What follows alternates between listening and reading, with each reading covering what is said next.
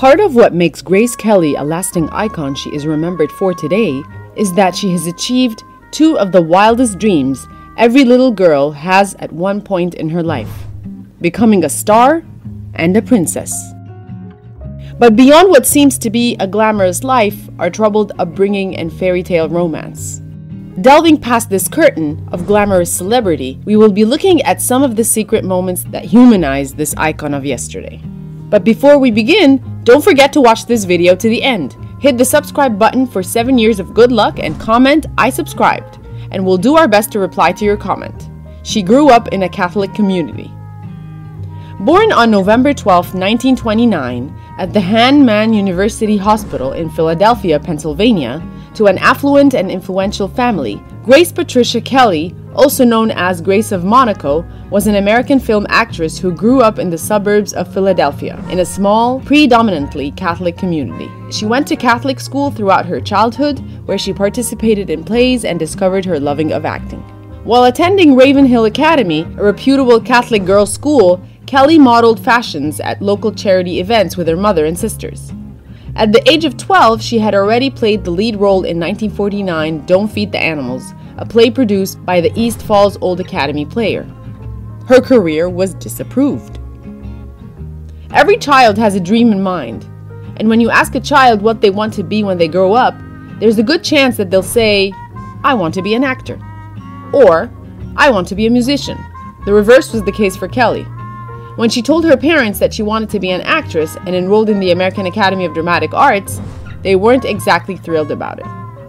Kelly's father, John Brendan Kelly Sr., also known as Jack Kelly, one of the most accomplished American competitors in the history of sport of rowing and a triple Olympic champion, believed acting to be a slim cut, a slim cut above streetwalker. That's pretty harsh.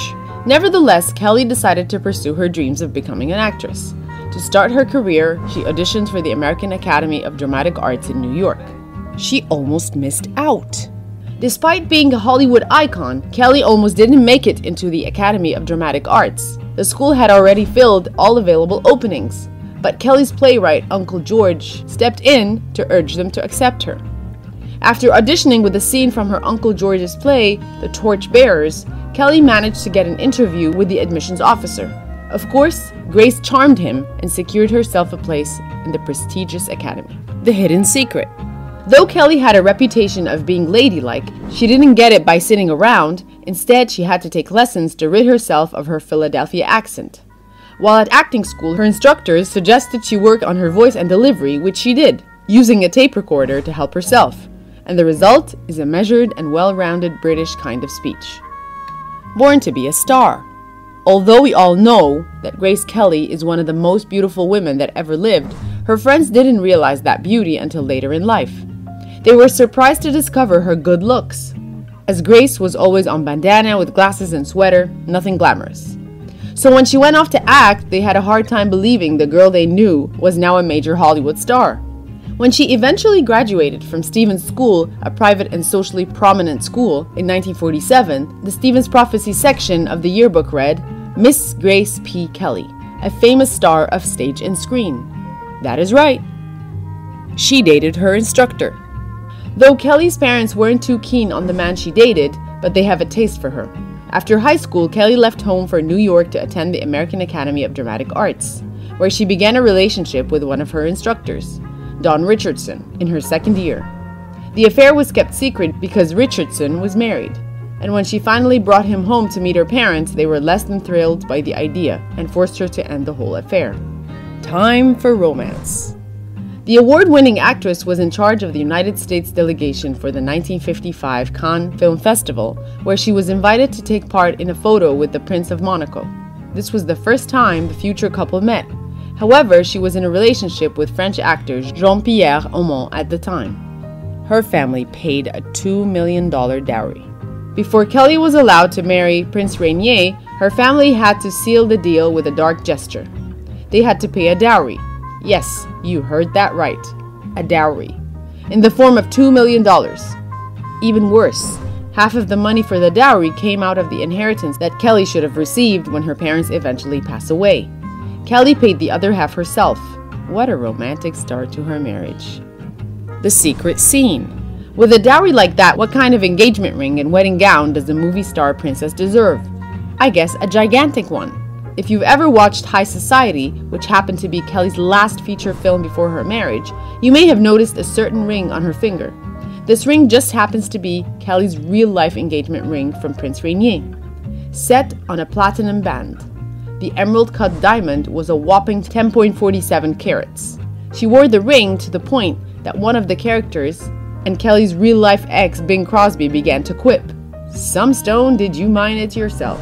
As if that is not enough, her wedding dress was designed by the Academy Award winning costumier Helen Rose.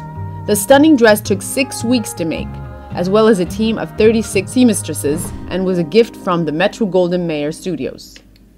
The wedding was estimated to have been watched by 30 million viewers on live television and was described by biographer Robert Lacey as the first modern event to generate media overkill. Kelly and Rainier had their seven week Mediterranean honeymoon cruise on his yacht. She had to prove she is a virgin and fertile. Royal people do weird stuff before marriage, I must say. On top of having to pay Prince Rainier to marry her, Kelly had a couple of other things to prove before she could join the royal family of Monaco. The first being that she had to renounce was her American citizenship. But the second one that made her look like a piece of cake is that Kelly had to take a fertility test and prove she is a virgin. The royal family needed to be sure that she could give the prince an heir. If it turned out that she couldn't, the Rainiers likely would have forbidden the marriage. And when she finally said, I do, to Prince Rainier, he truly believed that he was marrying a virgin. Apparently, when the Monaco's royal staff checked to be sure she was still intact down there, she said her hymen must have been tore when she was horseback riding. Maybe not. Luckily, Kelly was a fertile girl. The couple had three healthy children throughout their marriage Princess Stephanie, Princess Caroline, and Prince Albert, current Prince of Monaco, born March 4, 1958. She rejected an iconic role. Working in Hollywood was deemed to be unbecoming of a princess. Therefore, Kelly had to give up her accelerating career to become a royal fixture in the country of Monaco. Her husband was so opposed to her former career that he banned them from being shown in Monaco. Ironically, her fame in Hollywood won't just go like that, as her old director, Alfred Hitchcock, never gave up on trying to get Kelly to star in another one of his films.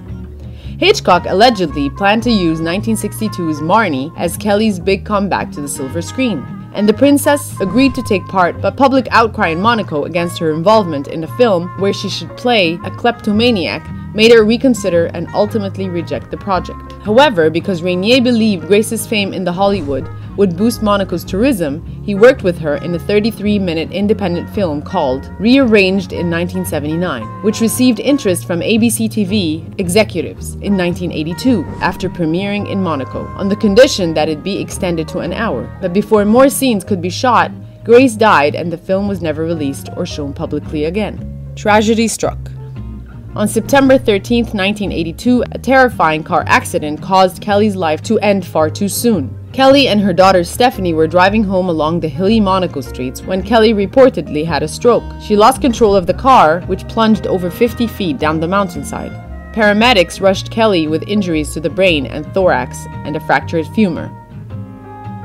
Sadly, the damage was done. She died the following night at 10:55 p.m after Rainier decided to turn off her life support at the age of 52. Kelly's daughter, Stephanie, thankfully escaped the crash with a hairline fracture and a slight concussion, but the impact on her was immense. Because of her injuries, she could not attend her own mother's funeral. The entire ordeal was so traumatic that Stephanie refused to talk about it for decades.